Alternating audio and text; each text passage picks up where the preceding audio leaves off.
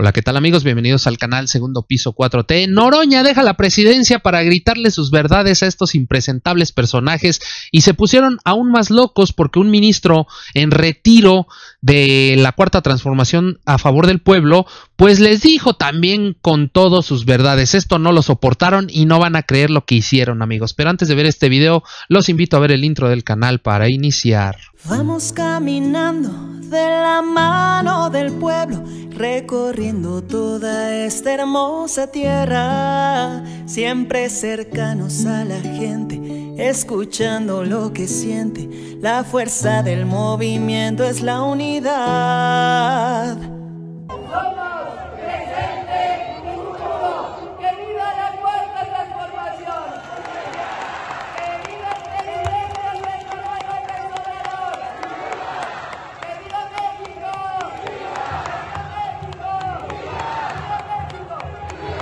Hola, ¿qué tal amigos? Bienvenidos al canal Segundo Piso 4T. El momento más desquiciado de la oposición que hasta se tuvo que subir Lili Telles, Alito Moreno y Marco Cortés fue cuando un exministro en retiro a favor del pueblo salió a decir unas palabras e hizo añicos a estos impresentables personajes. También Oroña tuvo que aventar todo para volverse un orador y hacer a un lado la presidencia porque no lo puede hacer, más bien no debe hacerlo estando en la mesa directiva, ponerse a debatir y a gritar con los opositores como si estuviera en tribuna, pero le valió y lo hizo.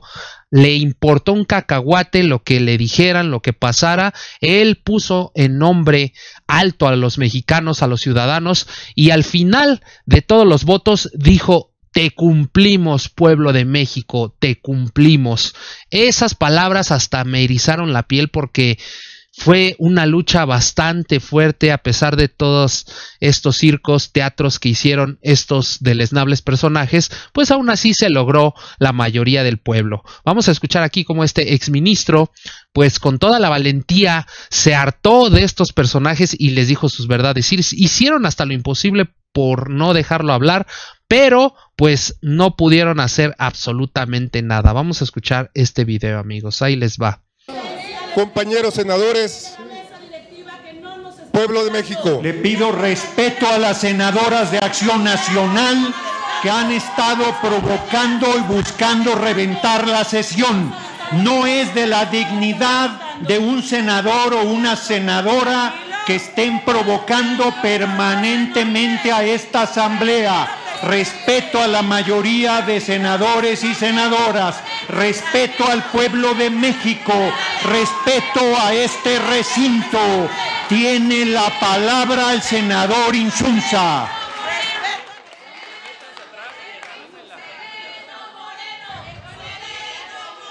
Moreno, pero firme en la defensa de nuestra patria. Tiene la palabra, senador Insunza. Me dirijo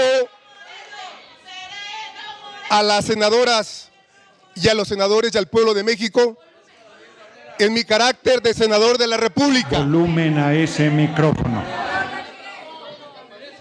Y también en el carácter de hombre de la judicatura. Como magistrado en retiro que soy. El de hoy en efecto, es un día histórico para la patria.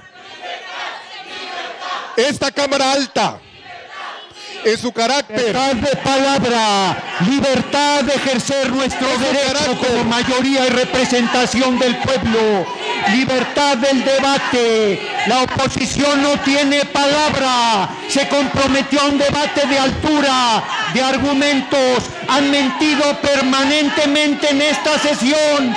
No está nadie privado de su libertad. El senador Barrera goza de absoluta libertad. Lo ha acreditado esta presidencia y he tolerado injurias y descalificaciones a esta presidencia y no van a poder detener la marcha de esta sesión. Senador Insunza, adelante y suban el volumen de su micrófono, por favor.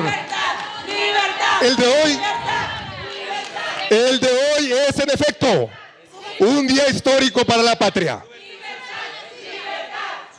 Esta Cámara Alta, como integrante del poder reformador de la Constitución, que ejerce una función soberana en nombre del pueblo de México para adicionarla y reformarla en los términos del artículo 135 de la misma, asumiendo a cabalidad y sin cortapisas el mandato de las y los mexicanos que nos dieron en las urnas el pasado día 2 de junio, sentará las bases para la transformación del Poder Judicial consecuente con el alto ideal del prócer Morelos.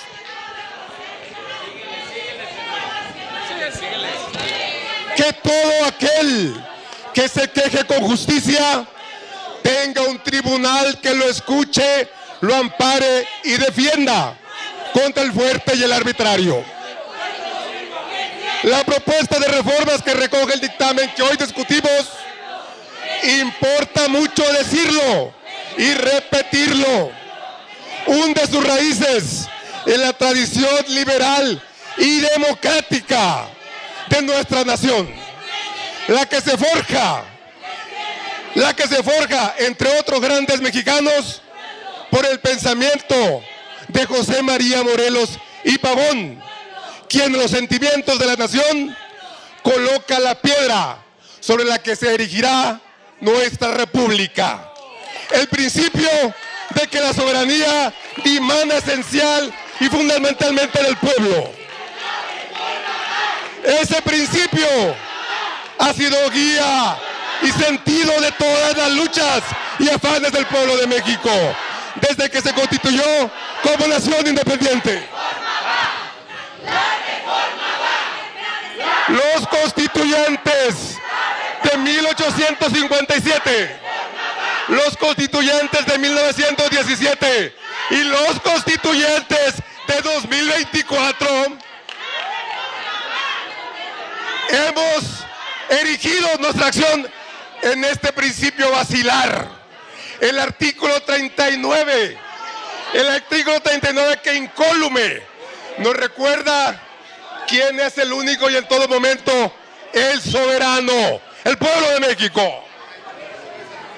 Lo leeré despacio, lo leeré despacio, senadoras y senadores de la oposición. Dale, senador Insunza, adelante. Lo leeré despacio. aguantamos las provocaciones para que pese cada palabra porque esa es la razón por la que hoy quienes abrazamos la causa de la transformación de la vida pública de México y pugnamos por un Estado constitucional de bienestar, votaremos por la refundación del Poder Judicial para garantizar que con legitimidad democrática y directa del pueblo sirva solo y por parejo a la causa de los derechos de todas y todos los mexicanos, con auténtica independencia de otros poderes y sometidos únicamente al mandato de la Constitución y las leyes. Cito, cito, la soberanía nacional reside esencial y originalmente en el pueblo. Todo poder público dimana del pueblo y se instituye para beneficio de este. El pueblo tiene en todo tiempo el inalienable derecho de alterar, de alterar su forma de gobierno.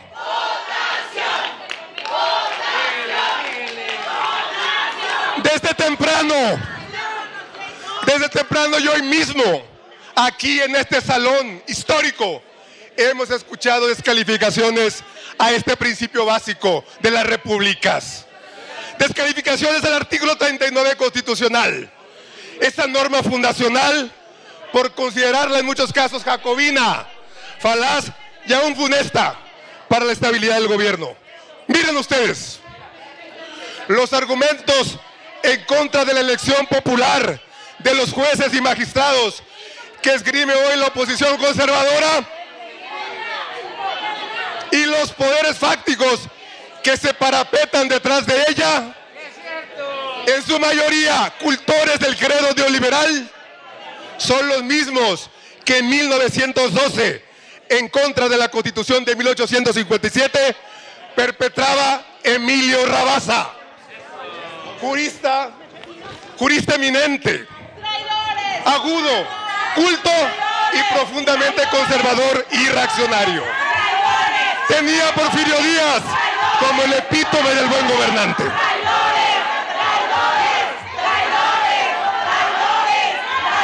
Permítame, permítame una digresión. Considero que es esclarecedora y nos da contexto en el debate de hoy. Unas líneas de Rabasa, escritas en su libro La Constitución y la Dictadura, revelan con nitidez el pensamiento conservador, que desde siempre se ha caracterizado por pretender hacer profesión de realismo para redundar invariablemente en desdén de los más humildes y negación de la soberanía popular. Y las expresa Rabasa precisamente al momento de hablar de las elecciones. Cito de nuevo, esta situación determina el perpetuo conflicto entre la aspiración popular y la acción de los gobiernos, que han de atenerse a las necesidades y no a los principios, porque los principios no obedecieron las necesidades ni se inspiraron en las realidades que dominan al fin sobre las quimeras. Y remata Rabasa en otro lugar, y pareciera haberlo escuchado de este lado del salón. El sufragio universal, dice Rabasa el conservador, es el enemigo necesario de todo gobierno establecido, el desorganizador de todo mecanismo ordenado. Ahí tiene el momento ideológico. Rabasa, al igual que sus seguidores de hoy, los que se sentaron en la parte de este lado, allá hacia arriba, parte de una profunda desconfianza, por no decir desprecio hacia el pueblo, al que consideran ignorante e incapaz de apreciar las cualidades que debe reunir un magistrado o un juez. No deja de resultar curioso.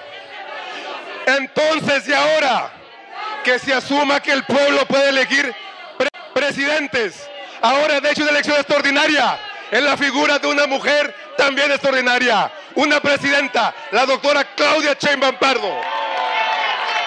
Pueden elegir presidentes, gobernadores, miembros de cámaras bajas y altas, pero no puede elegir jueces, ni siquiera de letras, porque resulta que esa ciencia se le escapa. Presidenta, presidenta. El gran historiador Daniel Cosío Villegas demostró en su día que esa argumentación carece de sustento histórico. El único periodo en que nuestro país ha elegido popularmente a los magistrados de la Corte fue durante la República Restaurada, 1867-1876. Y esas elecciones, escúchese bien, dieron lugar, se llamaban magistrados entonces, hay que leer, dieron lugar a una corte integrada por hombres cuyas prendas intelectuales y morales no han logrado ninguna otra corte, de una independencia soberbia, fiera y sin cortapisas. Juristas y patriotas de primera plana. José María Iglesias, José María Iglesias, quien acuñó la potema sobre la constitución nada, sobre la constitución nadie. Vicente Riva Palacio, José María Lafragua, Ignacio Ramírez el Nigromante, Lerdo de Tejada, Ignacio Manuel Altamirano y León Guzmán. Estos dos últimos, procurador y fiscal, integrantes también de la Corte, solamente por mencionar algunos. Ya no se diga Juárez, nuestro más alto prócer, que ejerció entonces el cargo de presidente de la Suprema Corte de Justicia de la Nación.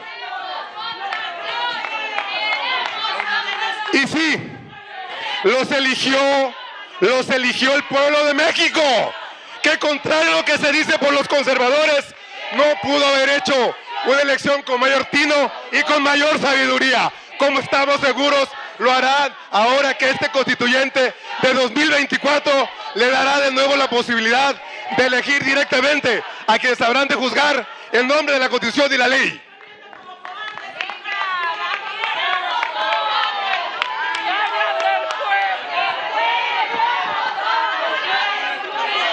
Les recuerdo que en las cortes, lo mismo que en los parlamentos, también se toman decisiones votando.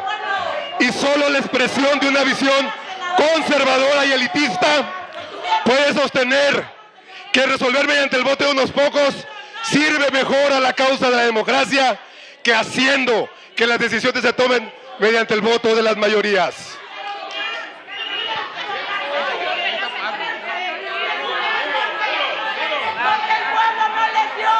Señoras, un poco más de tiempo el senador Insunza porque no lo han dejado voy hacer a su concluir, voy a intervención. concluir, señor presidente. Señoras y señores senadores, pueblo de México, es hora de rebasar a Rabasa y asumir sin cortapisas y de manera fidedigna el mandato del soberano. Si las cortes y tribunales se vota, no se debe temer a que el pueblo en pleno vote por quienes decidirán también votando. La democracia y la justicia han vuelto a tus manos, pueblo. Es cuanto, presidente. ¡Viva México! ¡Viva México! Quiero, quiero Pues bueno, amigos, ya escucharon aquí cómo se volvieron locos en todas las intervenciones que hubo. Esta fue la única que les causó demasiado ardor, demasiado coraje, rabia, porque pues este personaje fue un magistrado, ahora está en retiro, pero tiene conocimiento absoluto de lo que es la reforma al Poder Judicial y de lo podrido que está el Poder Judicial, por eso sabe de lo que habla y quisieron reventar, quisieron que no hablara, quisieron callarlo, pero no lo lograron. A continuación les voy a mostrar un pequeño fragmento cuando finalizó todo y el último en dar su voto fue el senador presidente Gerardo Fernández Noroña que dijo estas emotivas palabras que a ustedes les van a encantar amigos. Chequen. Fernando Fernández Noroña Gerardo. Gerardo Fernández Noroña del Grupo Parlamentario de Morena, te cumplimos pueblo de México. A favor.